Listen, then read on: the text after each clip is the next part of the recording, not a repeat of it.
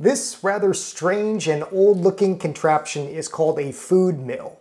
And after watching this video, you'll know how it works and whether one belongs in your kitchen. Hello and welcome to I Want to Cook. My name is Chef Matt and this channel is all about helping you be a better cook no matter your skill level. And today we are talking about the Humble Food Mill. So what is this thing? Well, first of all, if this thing looks like a relic from a bygone era, it kind of is. Uh, these were invented in the 1920s by the Foley Manufacturing Company, and this is an old Foley model that I got at the thrift store. I think I paid like seven bucks for it, but these are still made to this day.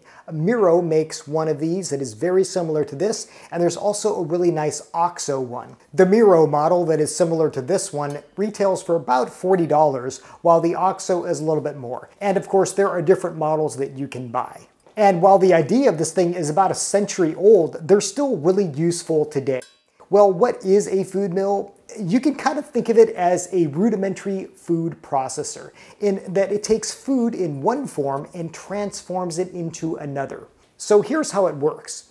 You have this hand cranked blade you see here, and what happens is you put food into this bin and you crank this blade and what it does is it pushes food through this sieve. And then out the bottom, you get like a puree or juice. Now these are mostly used for soft fruits and vegetables. And the beautiful thing about it is that you can put them in skins, seeds and all. You don't have to skin them. You don't have to deseed them. You just put them in this, you crank it, and out comes a nice juice or puree, all while leaving the skins and seeds behind. Now this particular model just has one bottom, but there are some that you can actually change the bottom. So if you want, let's say a finer mesh or a, a more coarse mesh, you can do that. You just pop a different plate in the bottom and that gives you some flexibility for, for what you're going to make. Now, as for the blade itself, it is held in place by this spring-loaded uh, pin here. And then when you're ready to clean it, you just unscrew this pin here you pop the blade out and then you can clean it. Uh, they're kind of a hassle to clean depending on how fine the sieve is, but you know, soap, a scrubber, a brush, it's really not too bad. So basically what this thing is, is it's a sieve with like a mechanical pusher. Okay, so why would you want to use one of these in the modern era where we have food processors, we have blenders, etc.?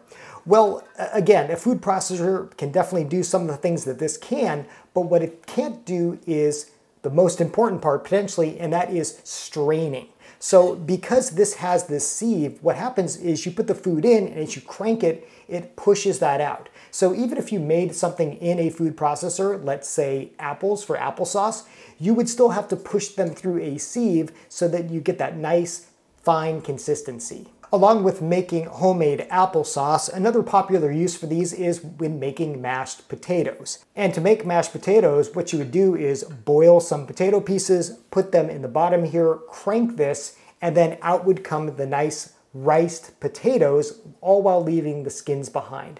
In that way, it's similar to the potato ricer that I demonstrated a long time ago, that you put the potato pieces into a canister and then you push it and out come that rice potato. The benefit of this is that you can work in larger batches. Those potato ricers aren't very big, but this can hold a lot and you can get even bigger versions of this. Another great use for this is tomatoes. You can put whole cooked tomatoes in, skins and seeds and all, crank this, and then you have like a tomato sauce. So let me demonstrate this for you. So first I'm gonna demonstrate with some mashed potatoes. I had cut some potatoes and boiled them earlier, and as you can see, these still have their skin on. So what we're gonna do is just take these potato pieces, we'll put them right into the top of the food mill here. Another handy feature of these is they have these legs that fit right over the bowl or pot, whatever you're using. This is the pot that I cooked my potatoes in. Now I'm just reusing it to rice these potatoes.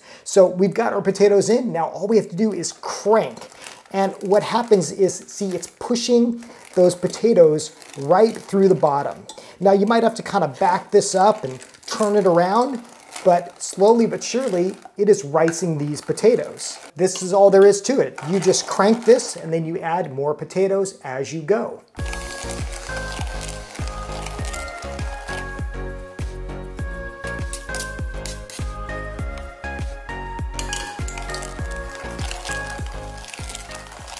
So let me show you the result here of what we have. See, you have this beautiful, nice, fluffy potatoes. And then from here, you know, you can add milk and butter and all the good stuff. So in this case, the food mill made these beautiful mashed potatoes all while leaving the skins in the canister. Let me clean this out and I'll demo how to make applesauce with this. Okay, we'll do the same thing with apples, and I just am using, again, the same pan that I boiled the apples in. And full disclosure, this is actually the first time I've used one of these for applesauce. So uh, let's, let's see how it goes. We'll just kind of dump these apples in here. I just kind of quartered these. Again, I left the seeds the skin, and even the stems on. Now I'm using Gala apples for these. I think you can also use McIntosh apples. Uh, those make really good applesauce as well. We have a culinary merry-go-round right here.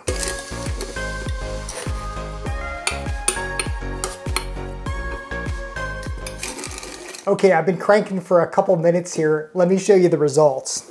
So as you can see with this, we got most of those apples pureed and those skins are all on the bottom. But check this out. We have applesauce. And from here, you know, you can flavor it however you want. You could add some cinnamon, some sugar, but we just turned those cooked apples into a nice applesauce puree.